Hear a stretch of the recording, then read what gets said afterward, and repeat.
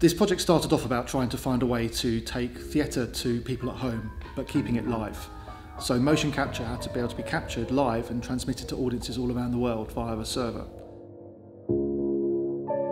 My role was to uh, devise and direct a short piece of performance to be seated within VR.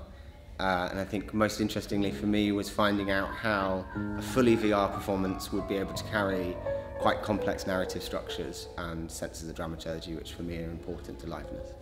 My whole work is looking at how theatre, or rather performance, can exist in different mediums.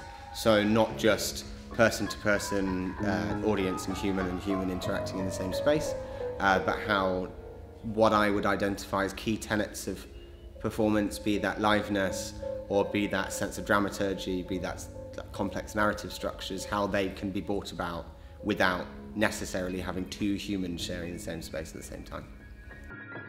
We've created a short VR performance that uh, is to be explored by four people at a time, with one live performer in the space with an avatar. Uh, and we've been looking at sort of short narratives that explore uh, the stories of expedition leaders who never returned. Although the reality you are about to go into may seem familiar, it is not. Have you ever travelled through space and time using virtual reality, James? Yes, I have. He's a rock star! Oh, got a He cowboy. knows exactly what he's doing. We need to get you into your correct timelines. Right, can I have one explorer here, there, there, and there in the line, please? Thank you.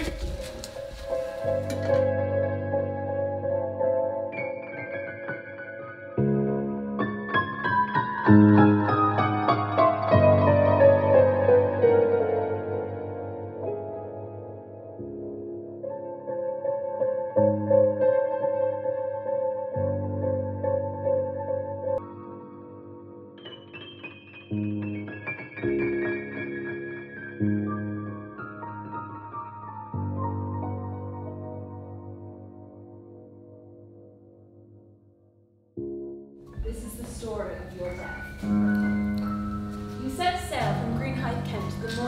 19th of May, 1845. Your ship stopped shortly in northern Scotland in the Orkney Islands.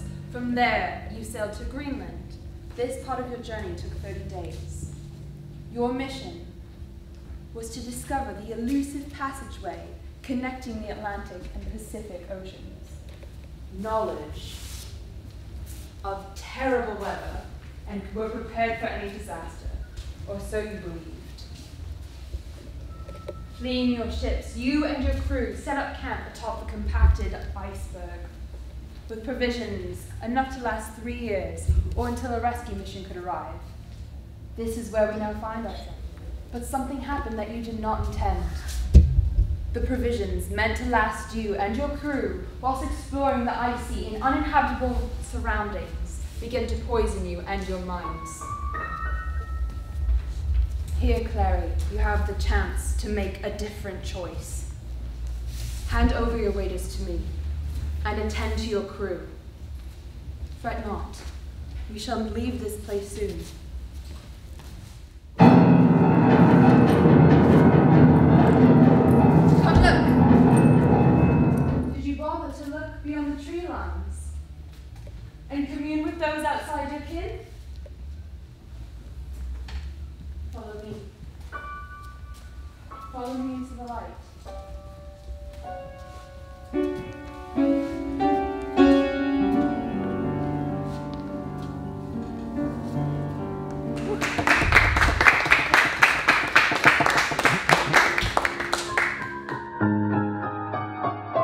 So for the project that we've been developing here at uh, Rose Bruford College, using the Innovate UK funding, we have developed uh, several pipelines that allow us to control a virtual reality experience using our new streaming DMX protocol. What this means is that we've got uh, half a dozen VR headsets that can be tracked inside a space using Rose Bruford's uh, brilliant new motion capture studio.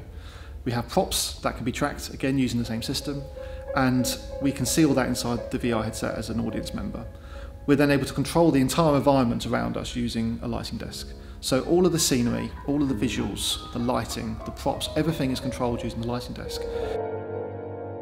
So I think that virtual reality with it brings so many opportunities to do things that you cannot do uh, on a natural stage or sort of basic reality stage. So with that, there's a lot to explore and there's a lot of opportunity to create worlds and create realities and things that happen that are completely out of the natural world. But with that, you have to be keen and understanding how an audience is going to be receptive to that and how they're going to understand those things if technically they don't quite align with what they're feeling or what they're seeing and what their actual, their senses are naturally telling them are happening around them. I think that's the biggest challenge. Liveness for me as a performer is having intimate connections with the audience that can either change their mind or just affect them in a way that they didn't understand that they had they could process feelings or uh, raise questions in their minds. And that happens momentarily like when you meet somebody or you or you have a connection with somebody. There's a part in this show where i say follow me follow me into the light.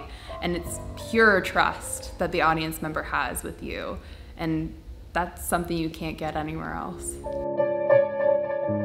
Normal motion capture or performing virtually uh, everybody says it's the combination of theater and film because you can have the intimacy of film uh, while feeling like there's some sort of liveness that theater has, but this takes it to the extra level because it is actually live and happening, uh, which is really exciting because that's kind of the happy place for both of my passions of film and theater.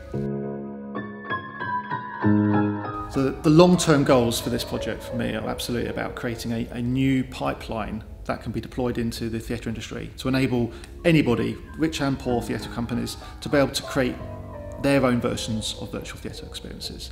We created this whole production in about five days on a budget of about £1,200. That's excluding our time.